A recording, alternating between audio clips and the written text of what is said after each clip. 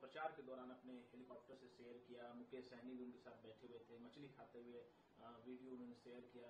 कैसे देखते हैं? नवरात्र का महीना भी है, शुरू हुआ है। देखिए, सवाल ये नहीं है कि कौन क्या खा रहा है, सवाल ये है कि नियत क्या है। मछली खाना, मांस खाना, मुर्गा खाना, जो मर्ज़ी खाओ आप, सुअर खाओ आप। लेकिन नवरात्र में आप पूछिए ना बंगाल के बहन भाइयों से, वहाँ खूब मछली खाते हैं सारे हिंदू। लेकिन नवरात्र में वो भी नहीं खाते आप ममता बनर्जी से पूछिए क्या क्या नवरात्र में मछली खाती हैं? पूछिए अखिलेश यादव जी से, कि नवरात्र में नॉनवेज खाते हैं, मांसाहार करते हैं? मना कर देंगे। आप नवरात्र में मछली खाता हुआ वीडियो डाल करके दिखाना क्या चाहते हैं? आप कहना क्या चाहते हैं? आप ये कहना चाहते हैं कि देखो, नवरात्र में, नवरात्र का जो व्रत रखते हैं, तमाम सनातनियों को अपमानित करना चाहते हैं सनातन धर्म का मज़ाक बनाना चाहते हैं आप।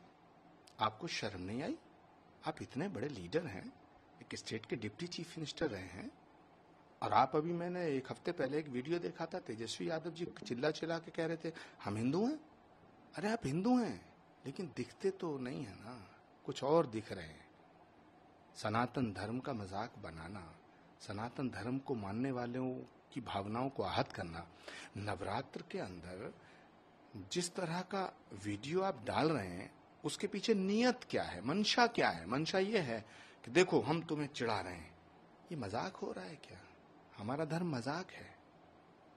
मोस्ट अनफॉर्चुनेट और निंदनीय, घोर निंदनीय। मैं इसकी घोर निंदा करता हूँ, तेजस्वी यादव को माफ़ी मांगनी चाहिए। करोड़ों सनातन धर्म को मानने वाले लोगों से, करोड़ों माँ भगवती के भक्तों से। अरे नवरात्र में तो कसाई भी थोड़ा ध्यान रखता है इस बात का। तुम तो हिंदू हो, और तुम कहते हो, कोई सावन के सोमवार के दिन बकरा काटता है, कोई मीट बनाता है, उसका वीडियो डालता है कोई बीफ की बात करता है? आखिर इस देश को आप आपने समझ क्या रखा है? सनातन धर्म को आप समझते क्या है? देखना चार जून को इस देश की जनता इसका जवाब देगी। क्या आपका इशारा राहुल गांधी की तरफ़ है? क्योंकि उनका भी वीडियो लालू प्रसाद यादव के साथ में उन्होंने शेयर किया था मटन बनाते मेरा इशारा नहीं है मैं साफ़ साफ़ कहना चाहता हूँ कि सनातन की शक्ति को समझो। सनातन से मत लड़ो। सनातन का मज़ाक मत मनाओ वरना इतनी दुर्गति होगी।